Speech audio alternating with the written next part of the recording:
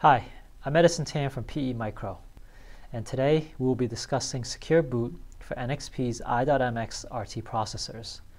These new crossover processors are making a big impact in industrial, automotive, and Internet of Things applications.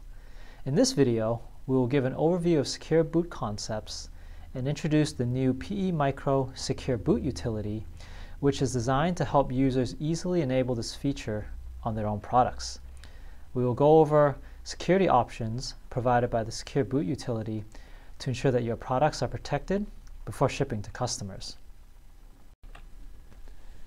The core principle of Secure Boot is that an embedded system should only run trusted, authorized code. This authorization is provided in the form of a digital signature using asymmetric cryptography. i.MX RT processors can be configured to only run code if a valid signature is detected.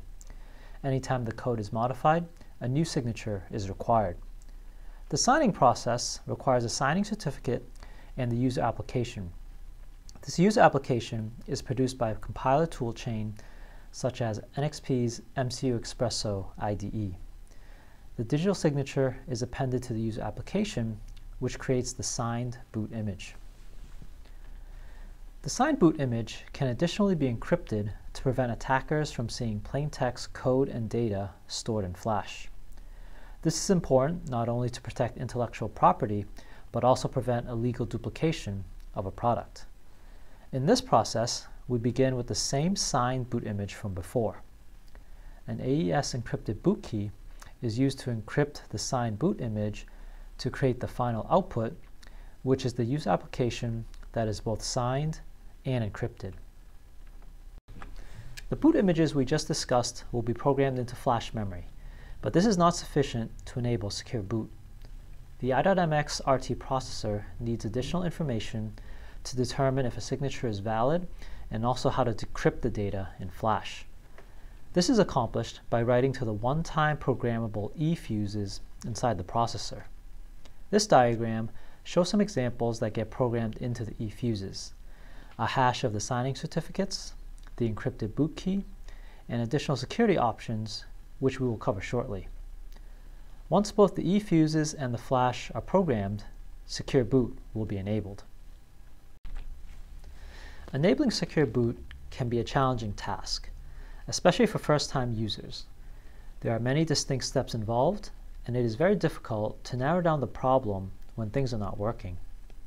PEmicro is launching the new Secure Boot utility to help make this process easier for users.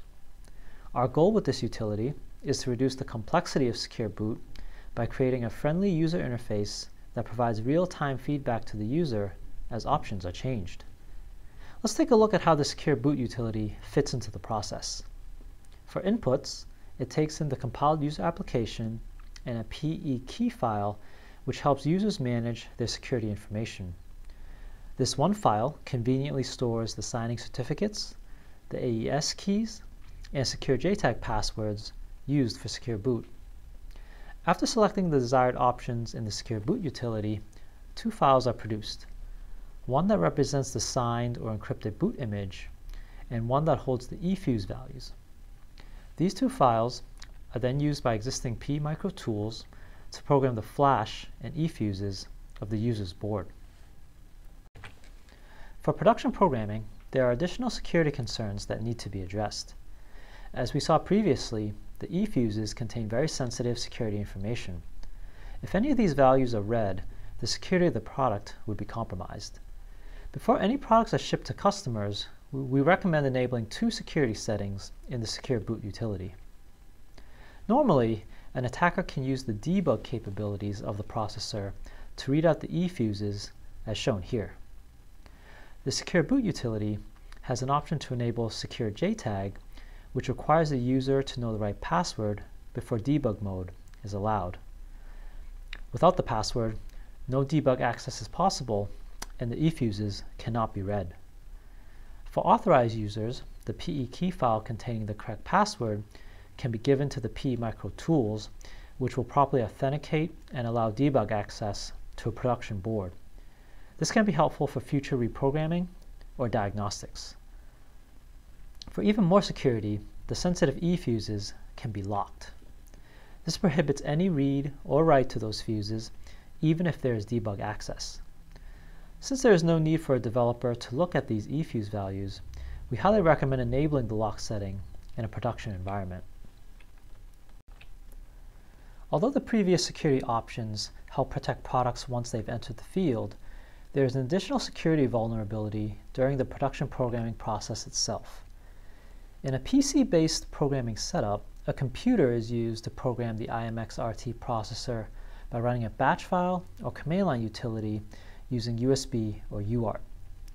This potentially exposes sensitive security values, such as the encrypted boot key or secure JTAG password, since these values are typically stored in plain format files on the computer. This is particularly important to companies who outsource production programming to third-party contract manufacturers. PEmicro Cyclone programmers address this problem by encapsulating all programming operations into a single encrypted SAP file stored onto the Cyclone. This file is created by the developer and it includes the eFuse and flash data along with all of the programming steps. Since only the Cyclone can decrypt this SAP file, the security values are no longer exposed, and the result is a secure production environment. Thank you so much for watching. For more information on Secure Boot and i.MX RT programming, please visit us at pemicro.com.